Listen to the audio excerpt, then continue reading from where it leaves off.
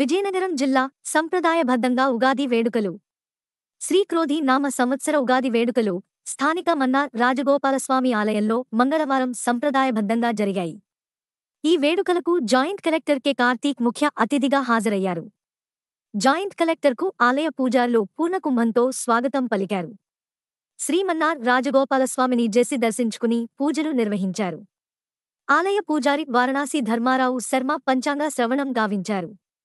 ఈ ఏడాది ప్రజల్లో భక్తిభావం పెరుగుతుందని విద్య వైద్యం సాంకేతిక క్రీడారంగాలు పర్యాటకం సంగీతం సాహిత్యం కళారంగాలు అభివృద్ధి చెందుతాయని ఆయన పేర్కొన్నారు.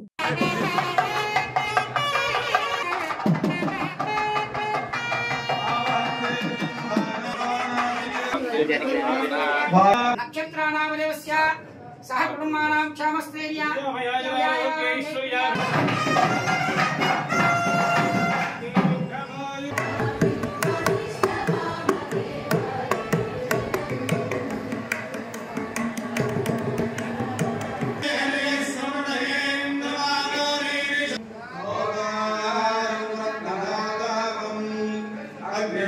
అగ్నేయం యజ్ఞ అందరికీ